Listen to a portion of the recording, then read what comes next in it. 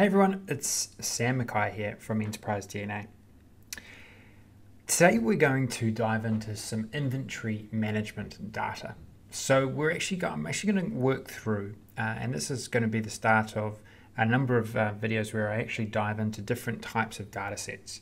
Um, in the past, I've, I've, I've, stayed very financial or sales uh, driven, but there's obviously so many different types of data out there and it's important to showcase Power BI in a way that is um, unique to different situations. So that's exactly what I'm going to do, and, and I'm going to start by running uh, today by running through something to do with um, analysis due, due, due to, uh, to, do with inventory management. And I've, I've had a few requests for this, so so that's why I'm really diving into it. And um, I'm going to showcase techniques. A lot of the techniques that I might have used uh, on different scenarios, I'm going to show how you can do use them in uh, with data that's totally totally different. In saying that, this data isn't totally different because we are comparing, in this case, sales information, but we're comparing it, we're contrasting it to inventory information. And so I'm just going to jump to the data model and show you uh, the slight difference in what we what we what we're working with here.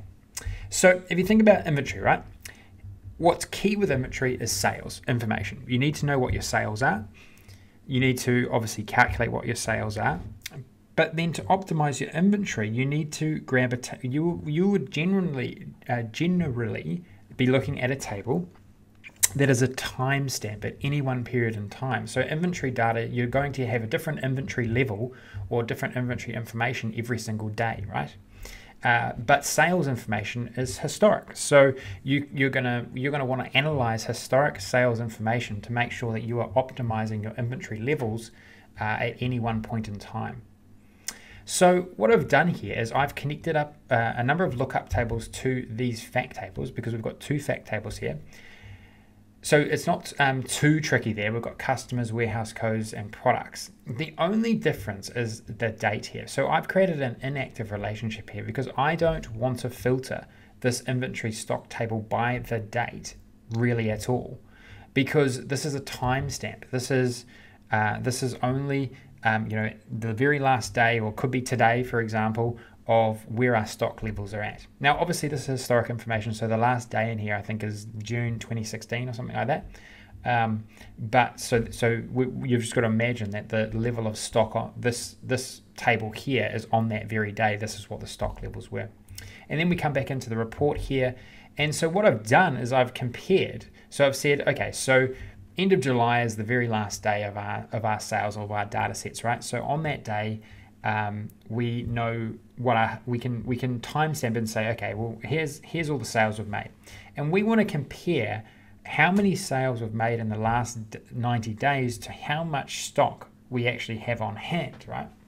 So the way I did that, the way I did that was I came, uh, I created a measure. So obviously I started with total revenue. I've got uh, in the sales data table, I had a revenue uh, revenue figure, and then to calculate the last 90 days, I use dates between, okay? So you see here, dates between allows you to have a start date and an end date.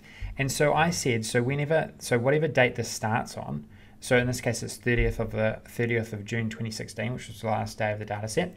I said, go and calculate how much revenue we made in the last 90 days per product based on the two dates. So the max date will always equal to the last date in our data set or last date in the context, and that's 30th of June. And then max date minus 90 has given us that 90 day window to calculate up total total revenue for that for that time period for each individual uh, product. So if you look down here, you'll see, uh, and I can filter it. I can um, so obviously so we sold way more of this product than obviously these products. Uh, but this is only the sales in the last 90 days and then we can contrast it to the total value of our current stock, right? So remember, the inventory is at a, at a timestamp. We think of the inventory table as going to be okay. What is our inventory on the 30th of June 2016? Okay, well this is the current value of stock. Now the way I calculated that is in our table we had to iterate through every single row and count uh, count up. Well, how much quantity did we have, and what was the cost per item, right? What was the cost per item. So for every single row, that's the logic that we run through, and then the SUMX does the sum of the total value at the end of that. And so now we can actually see for each individual product how much stock we have on hold. And then what we can do, and what is a really relevant count here, we might want to run a stock ratio, right? And so we might want to check, okay, well, is there a, we might have a, you know, a level, we might have a ratio level that we would, we will want to be at um, for all of our products, right? So that we always have in stock enough products to sell. And so what I've done is I've, I've with these two calcs, I can branch out into this other um, piece of logic, the stock ratio, just as simply as this. All I went was divide, I said uh, total revenue last 90 days divided by the total value of current stock. And then that gives us, um, I guess, a second derivative or a secondary figure that we can analyze and sort by um, to, to see what, what stuff is selling well, what stuff is not selling well. And then what we can do is we can actually, um, using this great, the great table feature, we can actually uh, sort and have a look at, well, what are, what are the low stock ratios versus the high stock ratios, right?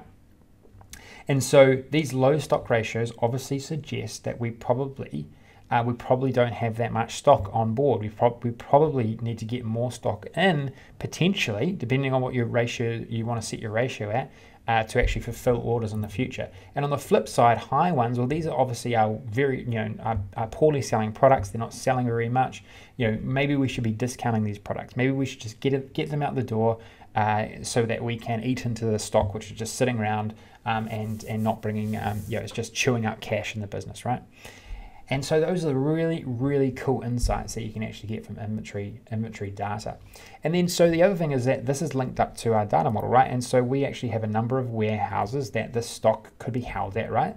And so we also might want to optimize that. We might, want to see, okay, well, how, um, you know, what, what sales will we make in, in particular regions and where are they located in our warehouses? And then we can click on the warehouse and we can very quickly see, okay, well, this is the, this is the stock that we currently have at that particular warehouse, right? And then we can match it up to sort of regional information. Um, haven't done that in this case, but um, but that's the power of being able to utilize the data model and behind the scenes to then put these additional filters in place.